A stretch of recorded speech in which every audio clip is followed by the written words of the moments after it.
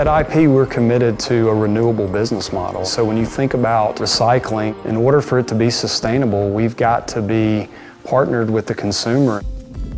Each one of us begins it. By putting that box, putting that piece of paper in the recycle bin, you have the opportunity to start that cycle all over again.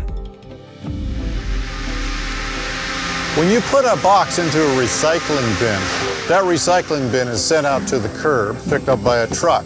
The truck then comes to a recycling facility and dumps all those recyclables onto the ground. Then it is sorted. That sorted material is baled up and sent off to various mills who handle that type of fiber. Take it to our paper mills, and those fibers can be recycled four to seven times.